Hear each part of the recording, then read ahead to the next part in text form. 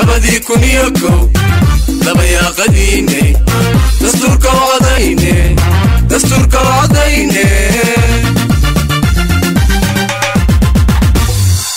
wati wati somalilan labadii kun iyo kow dabayaaqadiine dastuurka codayne dastuurka codayne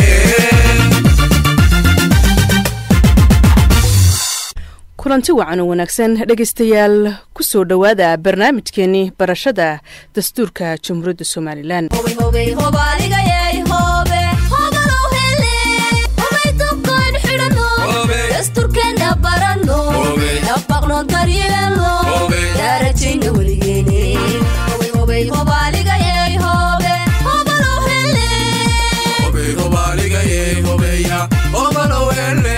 dhegaystayaal intiinii la socotay cashirkeennii kow iyo tobnaad waxaynu ku soo qaadannay qodobada kale ah siddeed iyo labaatan sagaal iyo labaatan soddon koob iyo soddon iyo labiyo soddon. Cashirkeennan labiyo tobnaadna waxa aynu ka bilaabaynaa qodobka saddex iyo soddonaad ee dastuurka jamhuuriyadda somalilan oo ka hadlaya xorriyadda caqiidada. Faqradda koowaad qof kasta wuxuu xor u yahay caqiidadiisa laguma qasbi karo inuu qaato tu kale shareecadda islaamku ma oggolaa in qofka muslimka ahi ka noqdo caqiidadiisa.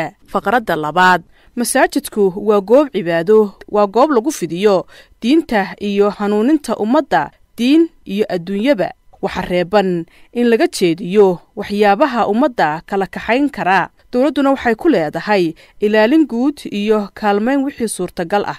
Qodobka afariyo soddonaad dhegaystayaal waxaynu ku qaadan doonaa waajibaadka muwaadinka iyo ciqaabta gudasho la'aanta. Waajibaadka. Faqradda koowaad.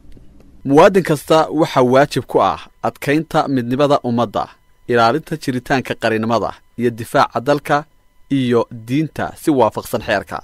Faqradda labaad. Qof kasta waxaa ku waajib ah in uu xaq dhowro dastuurka iyo xeerarka dalka. Faqradda saddexaad. Qof kasta waxaa waajib ku ah in uu si hagar la'aan ah u bixiyo cashuurta iyo takaaliifta kale ee xeerku waajibiyey. Faqradda afraad. Qof kasta waxaa waajib ka saaran yahay daryeelka ilaalinta iyo badbaadada deegaanka. Faqradda shanaad.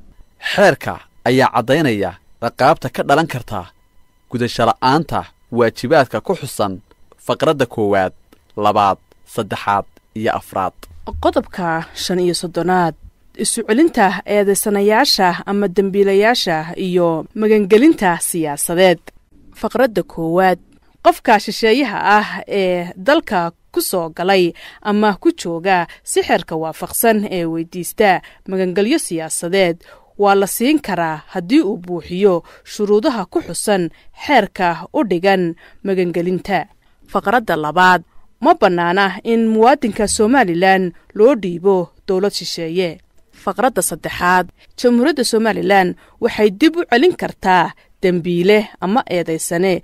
Dalkiisa ka soo cararay haddii uu jiro heshiis dhex maray jamhuuriyadda somalilan iyo dalka weydiistay celintiisa.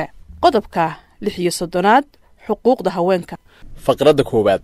Xuquuqda xorriyaadka iyo waajibaadka dastuurku xaqiijiyey. Haweenku ragga way ula siman yihiin wixii shareecada islaamka midkood u gaar yeesha mooyaane. Faqradda labaad. Xukuumaddu waa in ay dhiirigelisaa xeerna ka soo saartaa xaqa ay haweenku u leeyihiin in ay ka xoroobaan dhaqamada aan shareecada waafaqsanayn ee waxyeellada u leh jidhkooda iyo damiirkooda. Faqradda saddexaad. Haweenku waxa ay xaq u leeyihiin inay hanti yeeshaan maamulaan kormeeraan adeegsadaan gudbin karaan si waafaqsan shareecada. Faqradda afraad. Si sare loogu qaado aqoonta iyo dakhliga haweenka iyo weliba daryeelka qoyska haweenku waxay xaq u leeyihiin in loo fidiyo waxbarashada dhaqaalaha qoyska iyo in loo furo dugsiyada farsamada iyo xirfadaha gaarka ah iyo kuwa waxbarashada dadka waaweyn